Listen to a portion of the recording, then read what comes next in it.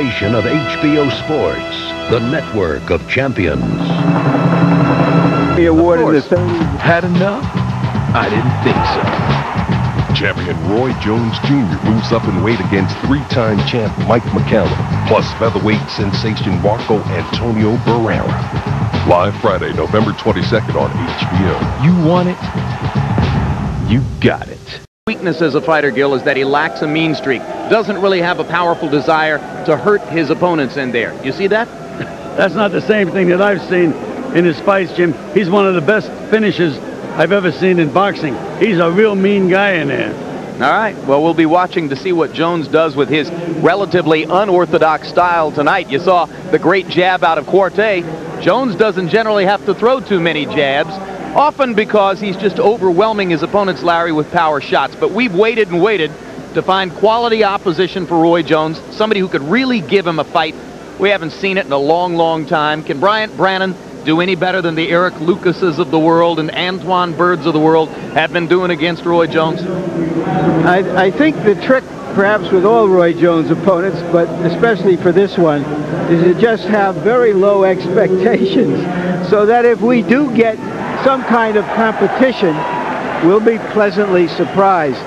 Because he has limited experience, Brannon has to be uh, uh, an underdog, a big underdog, and an overwhelming underdog. But because he's a Philadelphia-trained fighter, you know he's going to be tough. How tough? Well, 10 years ago, he got into a fight with a drug dealer, beat the drug dealer up, after the drug dealer pumped five bullets into him, one of which went through an eye and is now lodged in the back of his neck.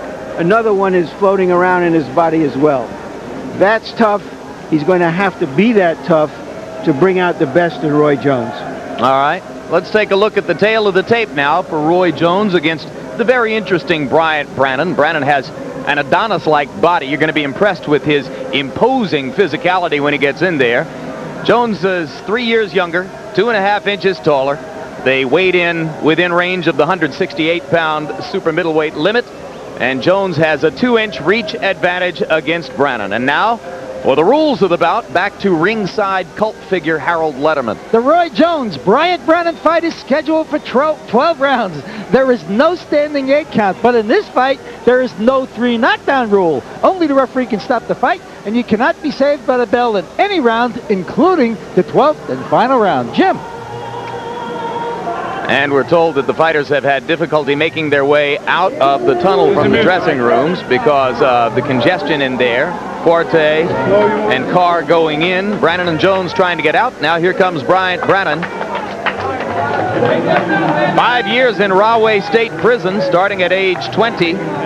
He got both religion and boxing while he was in there. It's got to be the number one boxing prison in the United States, having also produced James Scott and Rubin Hurricane Carter. In fact, he was the boxing champion at Rahway, and that in itself is uh, a worthy title. Before Roy Jones did his little song and dance in the ring before the fights tonight, I went in and visited Brannon.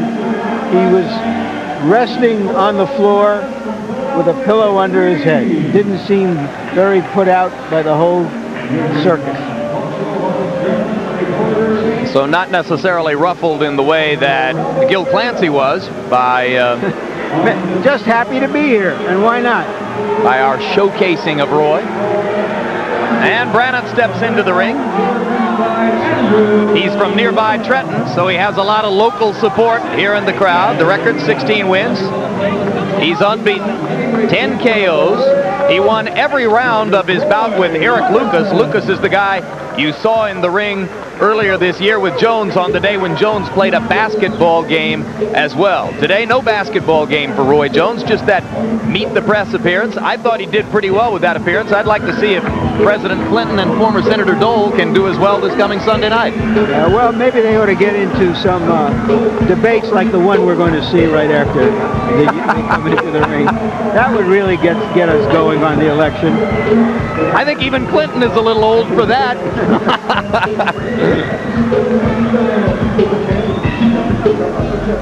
Some verbal fisticuffs on Sunday. We've got real fisticuffs here. And Roy Jones's record, once again, is the same as Ike Quartey's was when Quartey stepped into the ring. Now Quartey is 33-0 with 28 knockouts. Jones is 32-0 with 28 KOs. And some interesting punch stat numbers, Larry, that seem to show the degree to which opponents have a difficult time getting off against Roy's unusual style. Uh, his most recent opponents against Roy Jones have actually thrown roughly half as many punches as they normally do. Obvious reasons, Jones is a good defensive fighter, and Jones' offense is so potent that their instinct for, for survival kicks in early in their fights. And Bryant Brannon has been averaging 63 punches per round in his fights coming in. We'll track it as the fight goes on to see if his numbers drop, as has been the case for other Jones opponents. Now let's go up to ring announcer Michael Buffer for the pre-fight introductions. Ladies and gentlemen, Square Ring Incorporated along with your undisputed, undefeated king of beers, Budweiser. This Bud's for you. Present 12 rounds of boxing for the IBF Super Middleweight Championship of the World. Co-promoter with Peltz Boxing Promotions and sanctioned by the New York State Athletic Commission, Chairman, Olympic gold medalist and former two-time heavyweight champion Floyd Patterson. Commissioners in attendance, Rose Trentman and Melville Southard. Deputy Commissioner in charge, Michael Pascal. First Executive, Tony Russo. Chief Physician at ringside, Dr. William Lathan. Attending physicians are Dr. Richard Estrico and Dr. Rufus Sadler. The timekeeper is Jim Borzel. Counting for the knockdown seconds is Wayne Kelly. This bout is also sanctioned by the International Boxing Federation President Robert W. Lee Sr. IBF supervisor at ringside is Daryl Peoples. The three judges scoring this bout on a 10-point must system will be Don Ackerman, Don Notiger, and Joe A. Ware Sr. And when the bell rings, the referee in charge of the action, championship veteran Ron Lipton. And now, ladies and gentlemen, from the Mecca of boxing, Madison Square Garden here in New York City, uh, let's get ready to rumble!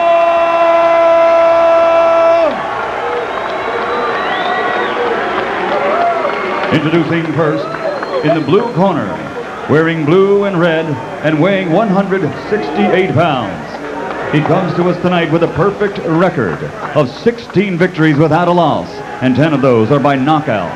Tonight, he comes to Madison Square Garden looking to shock the world. Ladies and gentlemen, from Trenton, New Jersey, here is the IBF number one ranked super middleweight in the world, the undefeated challenger, Bryant B.B. Brannon.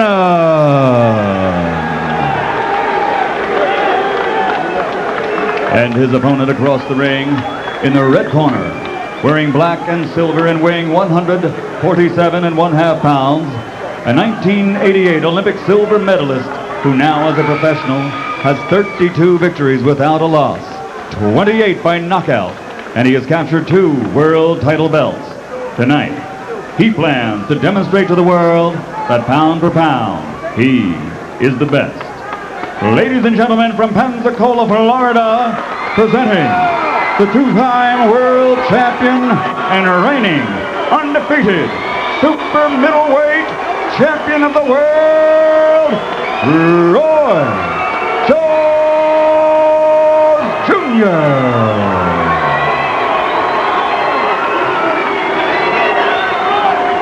Mark and Roy only. Okay, Muggsy, Bryant only. Okay. Gentlemen, you've been given the rules of the IBF. No matter what happens out here, respect each other, obey my commands. Let's keep it strictly professional. Good luck to you both. We'll see if Roy Jones is more effective than those bullets that lodged in Bryant Brannon. Faster than a speeding bullet. Roy, you got to start in that corner. Bryant, you ready? Well, there's a look at Brannon. All right. Roy, are Told you you ready? about the great physique Hot! in See the muscles bulging as he races across the ring and launches a wild right to the body. And Roy Jones stands in a peekaboo as Bryant Brannon throws about eight winged punches in a row. Well, that's a new strategy. Nobody's tried that that I've seen. Have you, uh, have you, Gil, against Roy Jones? He threw eight punches, but none of them landed. I guess if you fear something sometimes, the best way is to get right as close as you can. Yes, I did see this once before. Do you remember a guy by the name of McNeeley that fought Mike Tyson? Yep. Well, he's keeping Jones from getting off to a fast start. Meanwhile, Roy threw one punch, but it landed. Now he lands another little quick left hook in there. A counter. As Brannon continues to pound away with winged shots from the outside, trying to get to Jones's body. Landed one with left hook to the chin on, of Roy Jones. Trying to neutralize one of Roy Jones' best weapons, which is his, his quickness of foot. Maybe trying to take away some of the punching power by crowding him, too.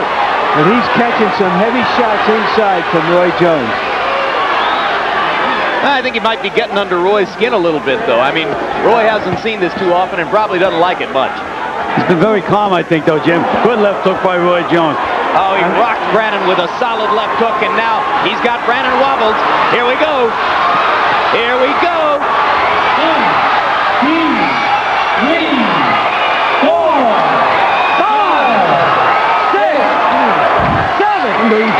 And I think the punch What? that started go, that go. was a left to the body. That started that whole Again, combination. we mentioned that Jones was so calm weathering that storm, blocking punches, just looking to set the other guy up. And you mentioned, Larry, that uh, despite the fact that Brannon was throwing punches, he was getting hit with some short, good, solid punches by Roy Jones. Well, in some instances, it's not how many you land, but how much they hurt. And there's that snapping left hook by Roy Jones again. And there it is again. Wobbles Brannon again. Brannon having trouble for the moment, staying on his feet. Lipton watching closely. Jones blinding Brannon with his overwhelming hand speed.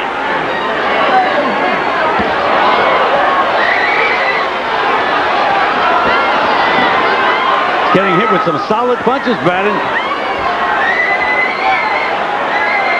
Will he make it through the round? Well, he's holding up about as well as is possible under the circumstances. Got hit two solid body punches by Roy Jones. He's wobbling right now, Brannon. Looks like he might make it out of round one, but he's paid a heavy price for the privilege. And the not so terrific news is he gets to come back for round two against Roy Jones. That was a pound for pound round. Do you, do you think that that was the same as getting hit with the five bullets, Larry? Well, those were bombs. Oh, these were, that's right. I forgot that. Hand, hand grenades. You gotta grab him when you're trouble. Gotta clean this Grab him. You're trying to, don't walk in without that jab. You're walking in without the jab. Let's see the first punch that started the fusillade of punches. And there you see it. Left hook to the left body. hook to the body. Just under the rib cage. Good eyes, Larry.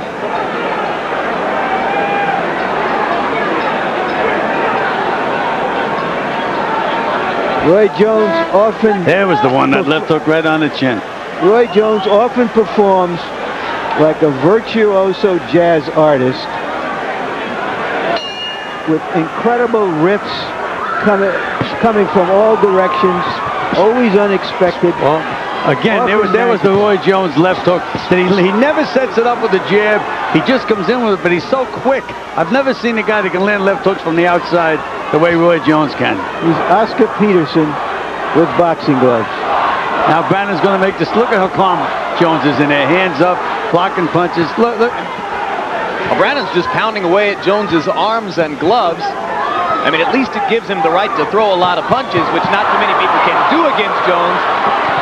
But he's getting hit so much in return. He's nailed Jones with a couple of right hands, but again, it uh, doesn't seem to bother Roy at all. Uh, give Brannon credit for standing in. He's a hard man who's done hard time, and he's worked hard to get to this point. He's a very appealing guy. Wonderful personal turnaround in his life. Kind of person you can root for. Jones in the first round after that relatively slow start when pinned to the ropes by Brannon's rush threw 102 punches.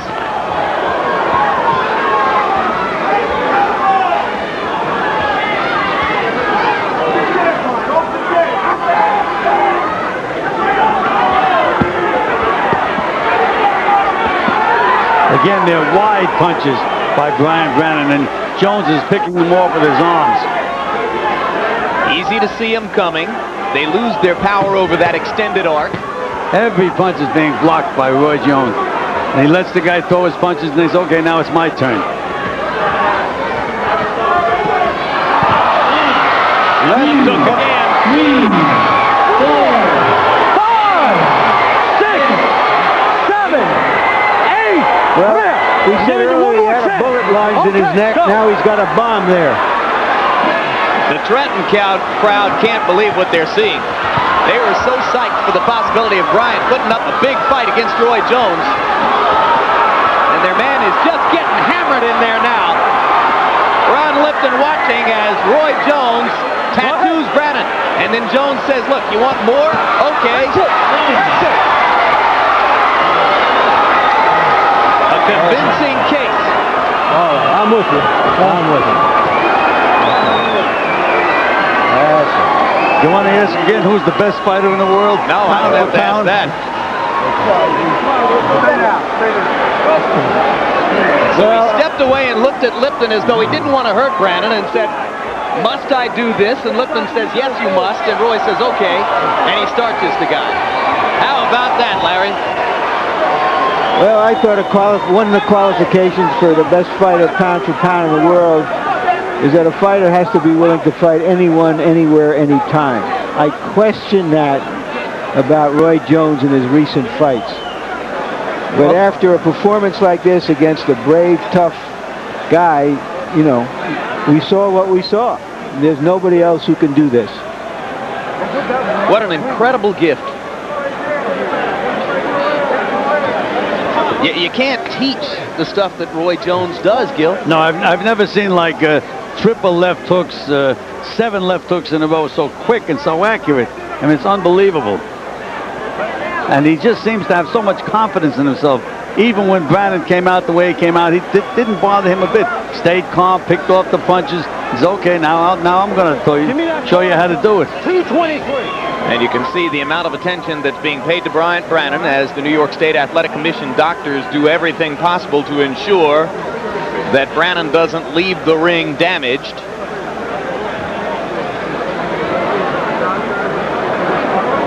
Second round KO for Roy Jones. No count necessary after Jones with one final flurry flattened Bryant Brannon. Now here's the first knockdown that took place in the second round, Gil. Now let's watch this. I thought it was a flurry of left hooks with a left hook as the decisive punch, but there might have been a right hand in there too. Left, left, left, Yeah. boom. Left uppercut, double left hook, right on the button. How many fighters do you know that can do that? There's the left uppercut, left hook, left hook. I mean, absolutely, absolutely unbelievable. There's a new combination that he just invented. And each punch with power. None of them taps. And they're short, to the mark. Now here's the second knockdown. This is after Jones has looked at, now there he looks at Lipton. You see that? Yeah. What do you want me to do, ref? Oh, okay, fine. What the heck? Boom. Here you can see Brannon doesn't have a leg under him. There's no reason why this fight had to go on. I mean, Jones could see it. I don't know why the referee couldn't see it. Beautiful left hook to end the fight. Short, to the mark. I wish we could read lips and understand exactly what Roy said to Ron Lipton. I'm sure that Larry will ask him in the post-fight interview. And there's a guy that was an undefeated fighter. Good job, man. Yeah, that's right. 16 and 0 with 10 knockouts coming in. Obliterated in two rounds by Roy Jones. And once again, let's point out before we go back into the ring, Jones designated all of tonight's live gate money minus expenses.